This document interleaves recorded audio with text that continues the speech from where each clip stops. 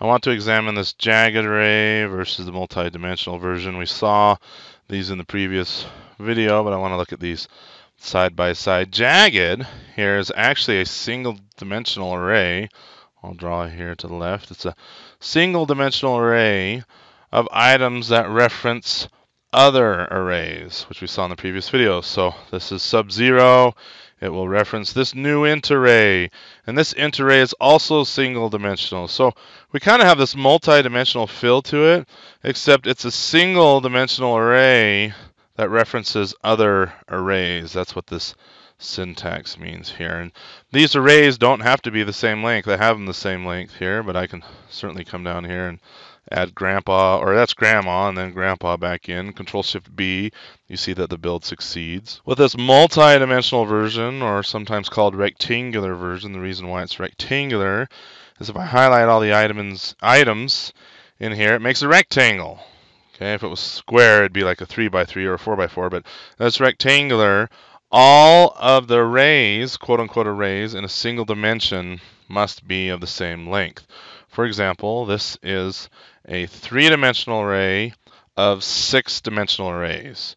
And it's not jagged, it's very rectangular. If I try to come in here and add grandma and Control Shift B, the build fails and we get this error list popping up in front of our face, way too large.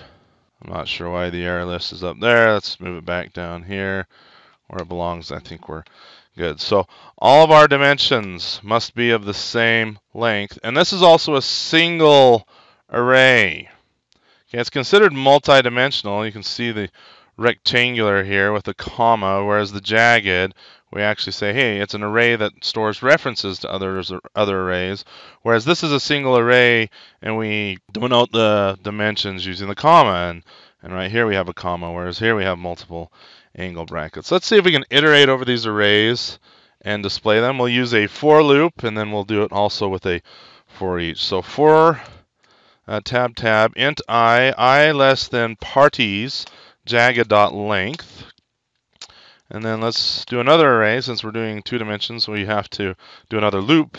Sorry, for int j, j less than parties jagged. Give me the array at party sub i and tell me its length. And then in here, let's get this error list off there. Zoom out a little bit. Hopefully you're turned up to high definition.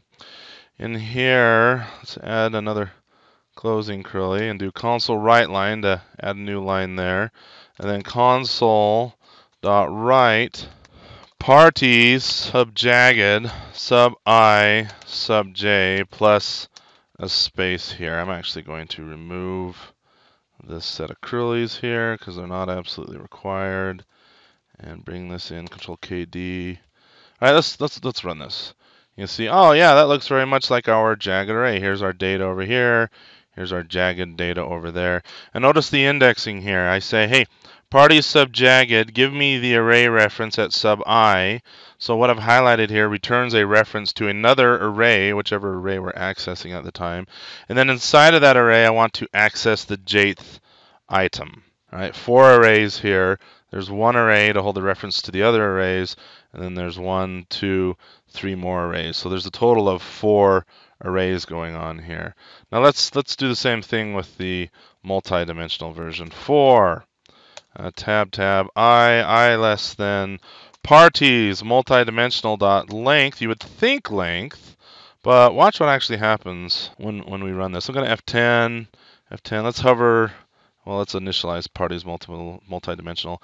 You would think length here would be three because there's three quote unquote arrays in there, but length is actually 18. Okay, it's the actual number of elements inside the array. Even though this array is two dimensions here, it's holding 18 elements. So this dot length here isn't going to help us much because I want to index into the multi-dimensional version the same as we indexed into the jagged version. So what we have to do instead is say, uh, give me the length of the first or the zeroth dimension. Okay, and I'm not sure. There we go. And then for int j j less than parties multidimensional dot get length of the first dimension. All right, the number of items in one row, how many items are in each row. I know all the rows are the same. I don't have to say which particular nested array I'm accessing here like I did with the jagged version. I just say, hey, I know all those quote-unquote nested arrays are the same length. So give me the length of that first dimension. And then the logic is pretty much the same. I'm going to copy this, paste it, but I'll say parties multi-dimensional right here. And then we're not accessing an array that returns an array. Instead, I'm accessing a single array. So I'll do a comma there. That's how you access individual elements inside of a rectangular or quote unquote multi-dimensional array. Let's control F5 this. You can see here's our first array up at the top. That's our jagged version. And then we have the multi-dimensional version down there. Let's try doing the same thing with a for each. Okay, I think that's hopefully this is driving home the differences between jagged versus multi-dimensional array. Let's try doing this with a for each.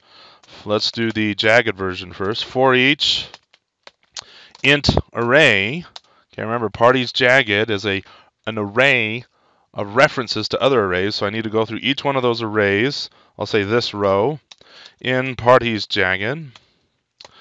And then for each int i in this row, and then console write i plus Let's do a space again. I'll add the curlies out here so we can insert a new line between each row. Control F5. There we go. The output's same as what we had before, but we're doing it with a for each now. Let's do the multi-dimensional version. For each int, I don't say int array because multi-dimensional doesn't store int arrays. It's storing ints, even though it's two-dimensional. This still stores ints. So each int i in parties multidimensional CWI. All right, Control F5. You can see, oh, holy smokes. Look at multidimensional. The for each with the multidimensional, little bit heinous because we don't really know where one dimension begins and one dimension ends. It's just, it's a multi-dimensional array of data. Now, let me tell you a secret about multi-dimensional arrays. In this case, what actually happens, even though we get this nice syntax we can say 3 by 6, the data is actually being stored as a single dimensional array. In fact, we could even do the exact same thing the compiler is doing for us with a single dimensional array. I'd just say, hey, give me 18 ints, and it'll just be a single dimensional array, and then I'll worry about where the rows begin and the rows end. Let's control F5 this. You can see the outputs still the same. So the rectangular version, all it really adds for us with the for each, it doesn't add very much. But with the for loop, as you saw earlier in the video, we can index it using commas. And then each row has to have the exact same number of items in there. And you're not limited to just two dimensions. You could go three dimensions, four dimensions, five, six, seven. At that point, your brain's probably about to burn up. But, but there you go. That's the idea.